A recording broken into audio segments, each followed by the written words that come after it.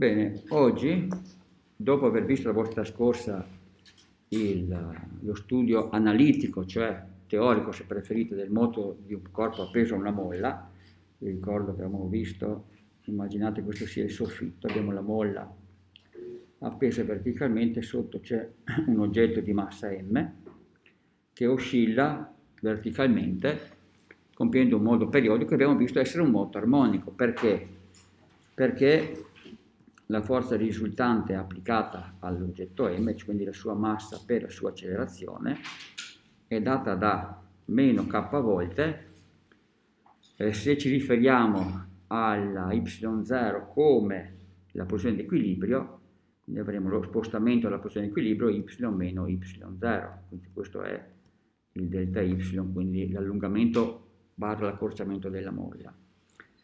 Ogni volta che da qui otteniamo che dividendo per la massa abbiamo che l'accelerazione vale meno k fratto m, supponiamo che per brevità il nostro y sia l'origine delle nostre coordinate, per y, posto che y0 lo mettiamo a 0. Se ho un moto in cui l'accelerazione è proporzionale, una costante negativa alla posizione, quindi questo posso confrontarla con la caratteristica fondamentale del moto armonico che A uguale a meno omega alla seconda di y, l'altra volta avevamo visto un moto orizzontale, quindi avevamo la x, ma il principio è lo stesso, allora posso dire che ho un moto armonico.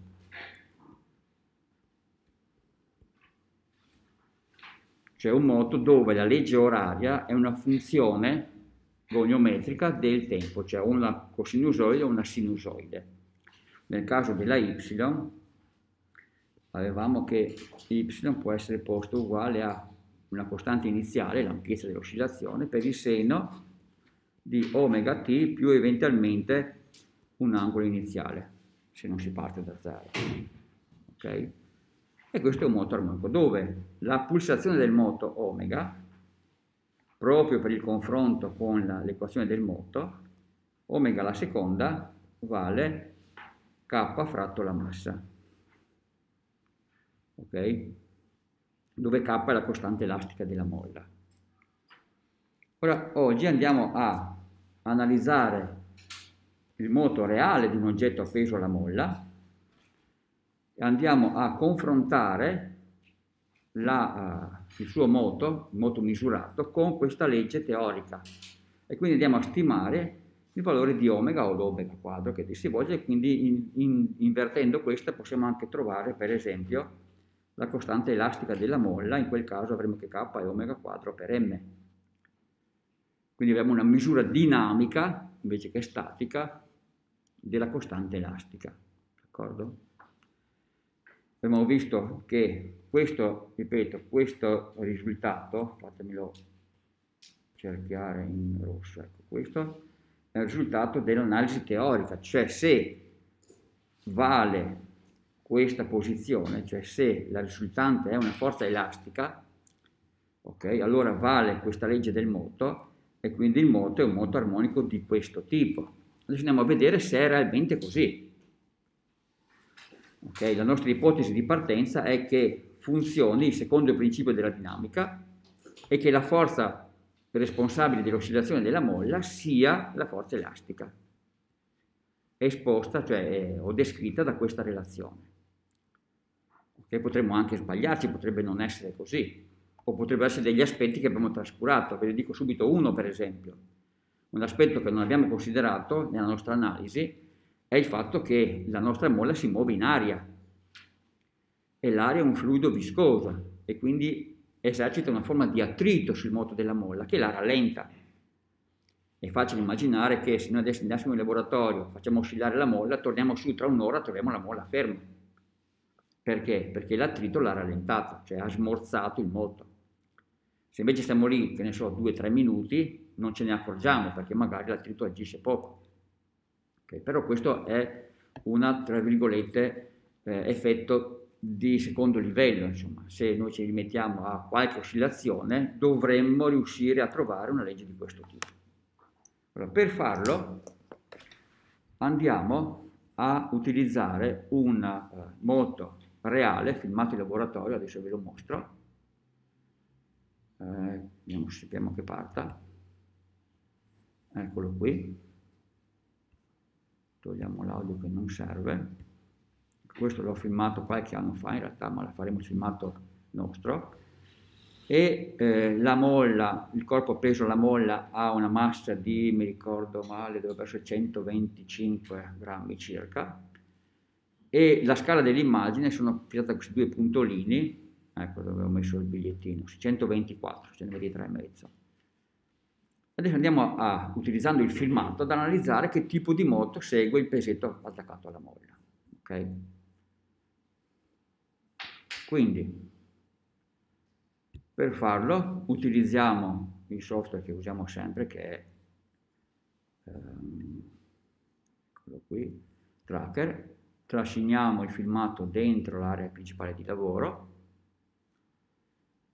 qui il filmato parte già da una, da una diapositiva buona, però ci sono moltissimi fotogrammi, ne useremo qui per esempio ce ne dà ecco, 871, ci basta qualche oscillazione, ci mettiamo a 120, eh, 120 fotogrammi, quindi questa piccola parte, è più che sufficiente. Dopodiché vado sulla seconda icona e imposto la scala dell'immagine col nastro di calibrazione. Tasto maiuscolo, punto su questo punto, poi mi sposto a destra, punto su questo punto, tenendo presente a primo il, tasto maiuscolo e lui mi, di su mi dice che sono 916 metri, che in realtà ovviamente è una scala interna fittizia, sostituisco con questo 0,4 perché sono 40 cm, li ho messi proprio lì apposta, l'avevo scritto anche qua sotto che si è rovesciato. Ecco, in questo modo abbiamo comunicato al software che questa distanza, che si poteva fare un poco meglio, ma insomma pazienza, è, corrisponde a 40 cm. Quindi adesso tutte le, le coordinate che il software associa alla nostra immagine sono scalate in metri. Okay?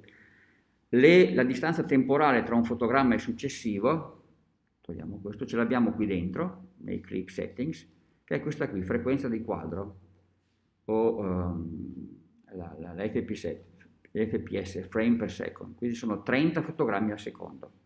Quindi da un fotogramma successivo c'è un trentesimo di secondo. Non è il massimo, perché se il corpo è molto veloce l'immagine è sbiadita, però per, nostri, per il nostro esperimento va più che bene.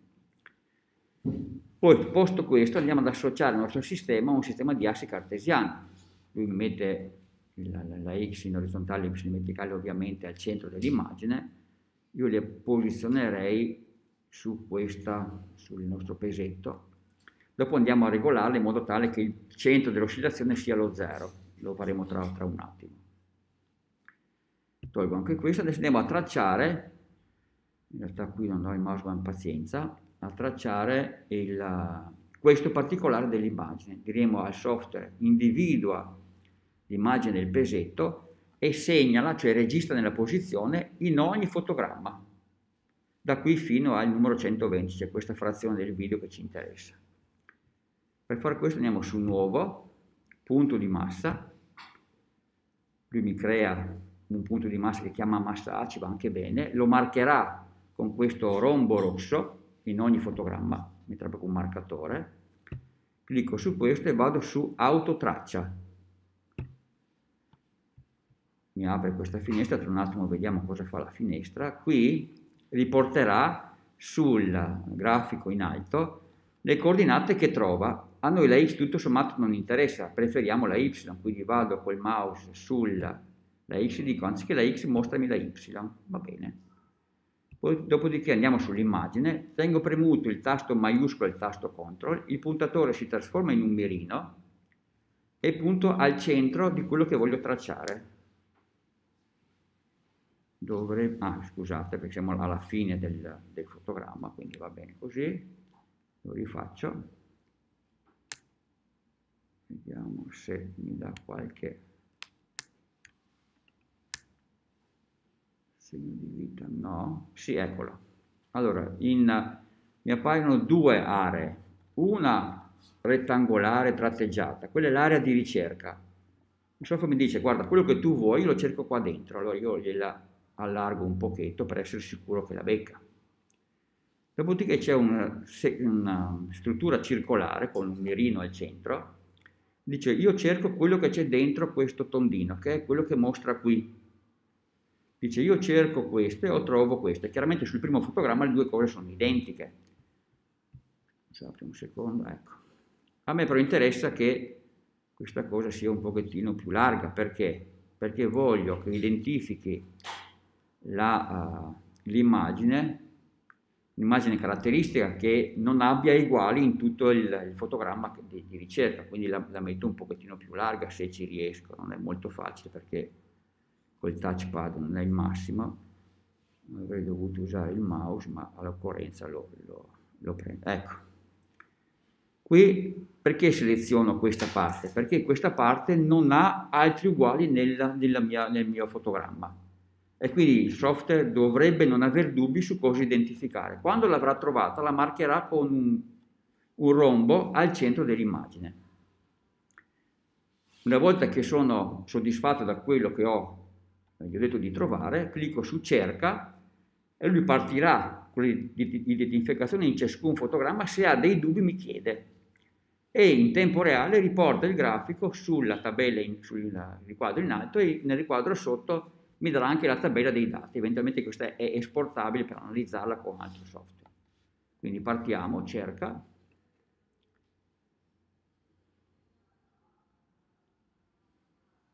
Questo sarà un po' lento anche perché deve analizzare tanti dati. E qui che tipo di curva dovrei ottenere, secondo voi? il moto della y, qui abbiamo la y in verticale e il tempo in orizzontale, dovremo ottenere una sinusoide o una cosinusoide, se il moto è veramente armonico, almeno a naso. E dopo vedremo se è questo quello che otteniamo oppure no. Questo qui sta ancora lavorando.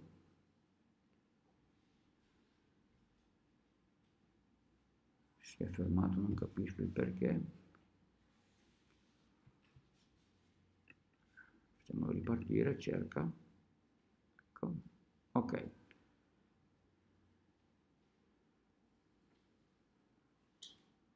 Va bene. Deve avere qualche difficoltà. Ecco.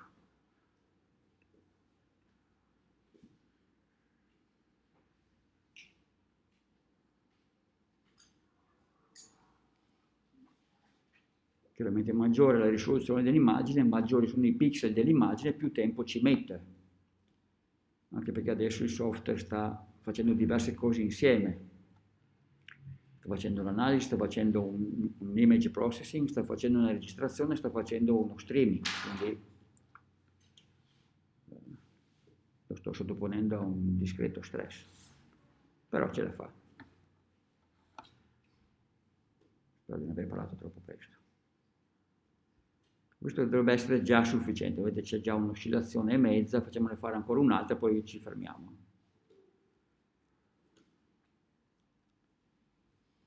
Ok. Già l'aspetto già assomiglia parecchio a una sinusoide, no? quindi c'è già un primo risultato, è già buono. Devo fare ancora questa. Ecco, direi che possiamo anche fermarci qui, anche se siamo a metà, in realtà ha fatto quanti? Una sessantina di fotogrammi, quindi altri 120 sono anche un po' tanti. Vabbè, diciamo che ci fermiamo qua. Chiudiamo. Adesso, fatto questo, abbiamo qui il grafico della legge oraria che dà la posizione in y verso il tempo. Per confrontare i dati, ogni puntolino rosso qui è una misura, una misura in senso reale del termine perché avendo dato all'immagine la scala e avendo lui il software dentro il filmato, la scala temporale, questi puntolini sono un dato che registra la posizione del nostro pesetto a un determinato istante di tempo, associando al fotogramma iniziale il tempo zero. Se col pulsante destro del mouse vado nel grafico e vado su analizza, me lo ingrandisce un pochetto che non guasta, Ecco, lui, il software di suo, congiunge tutti i punti con un segmento, cosa che io non voglio, quindi qui tolgo la spunta, e vado, voglio andare a confrontare questa successione di punti posizione-tempo con una curva teorica, con un modello. Quindi vado su analisi, fit delle curve, e lui me ne dà tutto un campionario. La prima che, che esce è quella lineare, cioè una retta, ma non è il caso nostro, noi vogliamo una sinusoide ok? Qui mi dà tutta una, una, serie di parametri A per seno di BT più C, ok? Quindi A corrisponde all'ampiezza dell'oscillazione, B, eh, vediamo di tornare magari alla lavagna, il tracker propone questo modello teorico.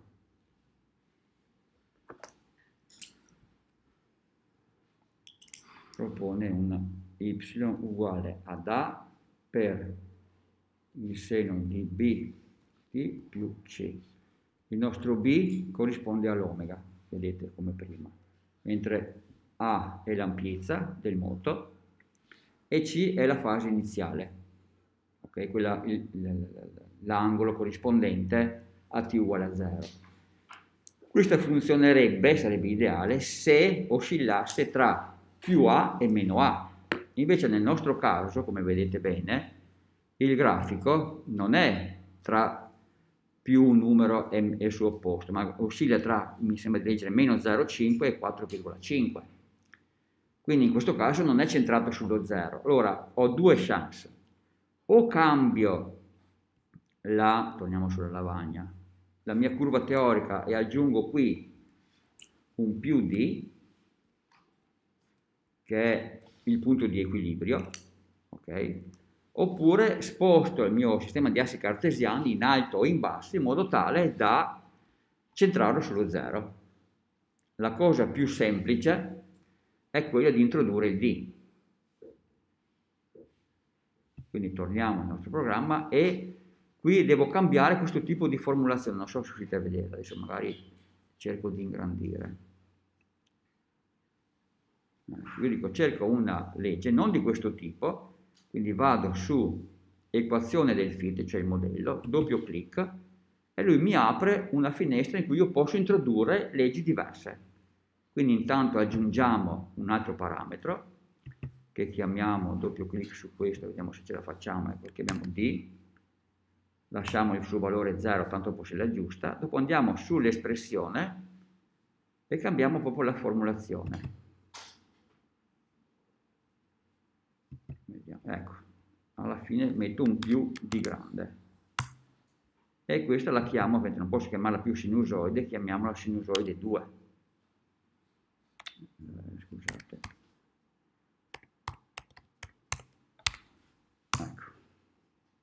Chiudo. Adesso sta confrontando questo e possiamo, vediamo se l'autofit non ce la fa, non fa niente, andiamo a vedere per esempio che il D, qui sono in 10 alla meno 2, quindi questo sono 2 per 10 alla meno 2, qui c'è un 6, mettiamo un 2, ok, poi qui l'ampiezza mettiamola positiva, quindi parte da 2, arriva fino a 4,5, quindi qui sarà 2,5 grosso modo, per 10 alla meno 2 e omega che è B sarà positivo. E era 8, non 10 alla meno 4 ma 10 alla meno 2 no 10 alla 0 dovrebbe essere. Ecco. Vedete che già la curva teorica comincia a vedersi. Eh, cambiamo il eh, questo se lo possiamo portare un po' più in alto, un po' più in basso, lo scendiamo un pochetto, aumentiamo l'omega, no, diminuiamo, ecco, quasi quasi ci siamo. Quando più o meno sono abbastanza vicino a quella teorica posso dire arrangiati, clicco su AutoFit e lui aggiusta da solo. C'è un software interno che fa le cose per bene. Quindi vedete che con questo modello teorico, cioè quello che sulla lavagna abbiamo scritto in questo modo, Tracker cosa fa? Mi dice, guarda, la tua legge oraria è una sinusoide quasi perfetta. Vedete che adesso i, tutti i punti che sono misure, sto, lo ripeto ancora una volta, sono quasi perfettamente sopra la curva che è per noi un modello teorico. Se il moto non fosse armonico non avremmo questo accordo. Eh. Il moto potrebbe benissimo essere oscillatorio ma non armonico. Invece qui abbiamo una legge sinusoidale che con una sola formula attraversa praticamente tutti i nostri punti.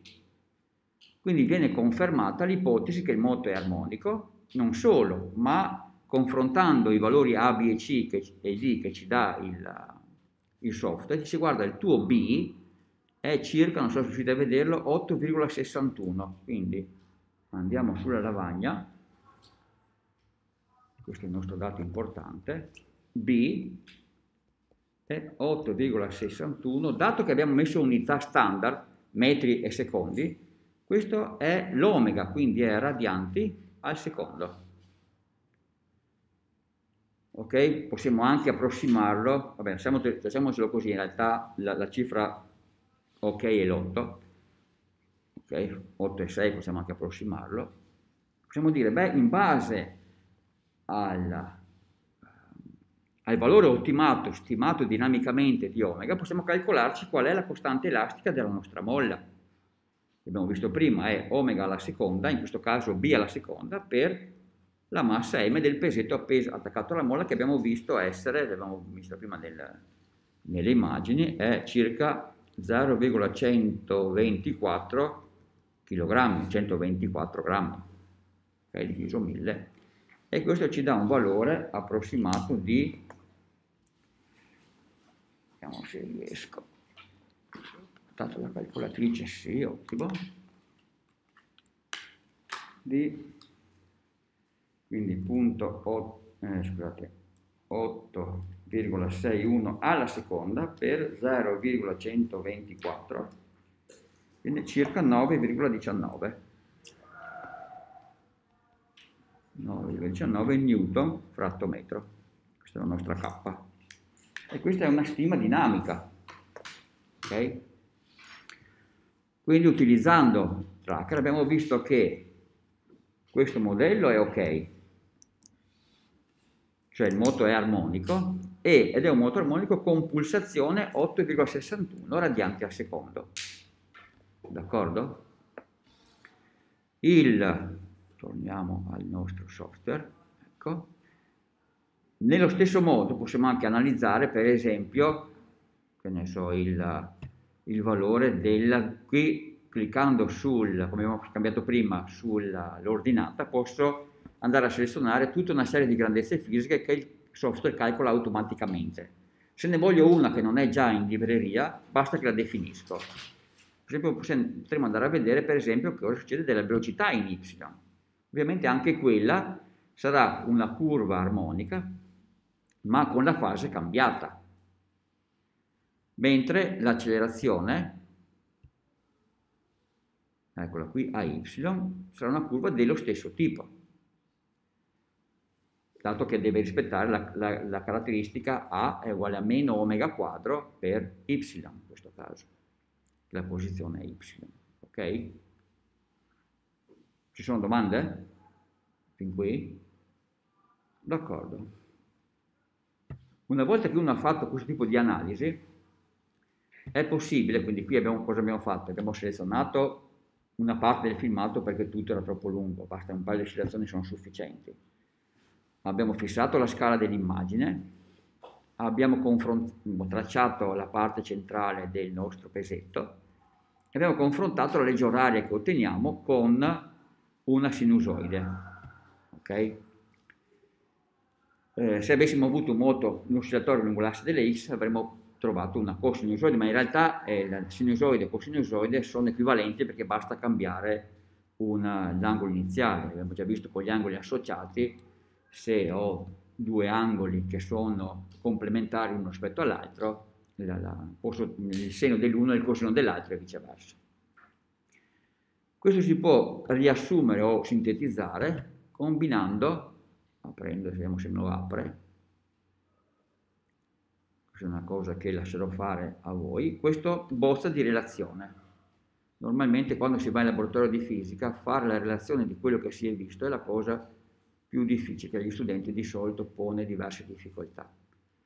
Qui vi ho lasciato una traccia che deve essere facile da, da seguire. Qui c'è la versione di, di tracker, questo è importante, ne stiamo usando la 5.1 mi pare. Per saperlo è sufficiente andare, tornare su tracker e andare su aiuto e eh, informazioni sul tracker. 5.1.5 ok? Quindi qui si mette la versione la data nome e cognome dello studente titolo. Quello che stiamo facendo adesso quindi analisi del moto di un corpo appeso ad una molla. Scopo verificare la, uh, il moto armonico e stimare, se volete, stimare la costante elastica della molla. Qua il filmato, ne abbiamo usato, adesso non mi ricordo più come si chiamava, mi sembra che era molla 1, eh, massa 123 eh, e 5 grammi, punto MOV, insomma, il, il, proprio il nome del file, per non avere dubbi. Clip Settings. Ricordate quando abbiamo selezionato i fotogrammi, basta tornare su questa icona, mi dice guarda hai preso dallo 0 fino al 120. Ok? Quindi qui basta mettere da 0 a 120. In realtà ne abbiamo usati 60, ma insomma non fa niente. Poi, nastro di calibrazione. Ho usato i due punti di riferimento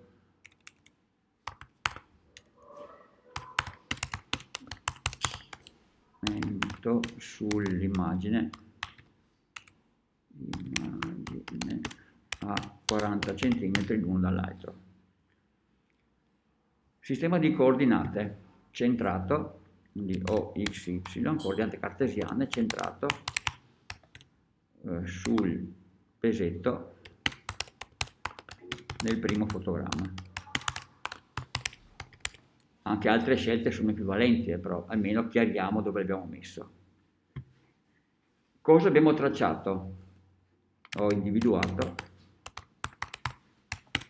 ehm, la parte dell'immagine del pesetto. Okay. Analizza il grafico. Ho analizzato il grafico y-t, cioè coordinata y e tempo. Ok? E ho utilizzato un modello che non è standard, ma è di questo tipo, y uguale ad a, il per si fa con l'asterisco, sin b maiuscolo per t più c, chiusa parentesi, più d abbiamo inserito un parametro in più. Risultati. Allora, il moto ehm, è ben descritto, qui è una, ok, ben descritto da una legge sinusoidale. Qui posso ripetere anche il modello con vediamo se c'è spazio anche dopo, con qual è il risultato principale? B vale, cos'era 8,61, 8,61 radianti al secondo. Quindi, dato che K vale eh, B alla seconda in questo caso, che è il nostro omega per M, e la massa del pesetto è eh, 0,124 kg, abbiamo che K, costante elastica della molla, era 9, non me lo ricordo più, 19, grazie, newton su metro. Ok? Poi questo lasciamo per un attimo stare, conclusioni, questi, perché questi sono i risultati della misura. Quello che abbiamo, stiamo facendo è una misura di due tipi, uno qualitativo, cioè la prima domanda è il moto è armonico? Risposta sì, perché? Perché viene descritto da una legge sinusoidale del tempo. Seconda, se il moto è armonico, qual è il periodo del moto, se volete la pulsazione del moto? La pulsazione vale 8,16 radianti al secondo e quindi la costante elastica della molla vale tot. Conclusione, il moto del peso attaccato alla molla, adesso fatemelo solo dire senza scrivere, ci metto, ci faccio più veloce, il moto dell'oggetto appeso alla molla è un moto armonico e quindi conferma il modello teorico in cui il, il moto del corpo appeso alla molla, cioè soggetto alla forza elastica, è quello che si ottiene risolvendo l'equazione del moto basata sul secondo principio della dinamica e sulla legge di Hooke, cioè la forza elastica vale meno k volte l'allungamento o l'accorciamento della molla. Okay? Siamo in, uh, agli sgoccioli come tempo, c'è un'altra, uh, un'altra fase importante, magari la vedremo insieme la prossima volta o addirittura in laboratorio, in cui il tracker ci permette di dire, ok, qui abbiamo fatto una misura basata su dei modelli predefiniti, d'accordo? Ma il tracker mi dice, ok, ma se tu hai un'equazione che mi dice qual è l'espressione analitica della forza risultante, allora io, tracker, risolvo l'equazione che tu mi proponi, creo un'immagine teorica che dovrebbe essere la posizione del pesetto se la tua formula fosse corretta e la sovrappongo a quella reale. Vi mostro, questo possiamo salvarlo. Ah, si può salvare il lavoro semplicemente cliccando sulla cosa e lo mette nella stessa cartella dove abbiamo i filmati. E eh, vediamo se riesco a mostrarvela molto velocemente. Allora. Vediamo, vediamo. Essere questo.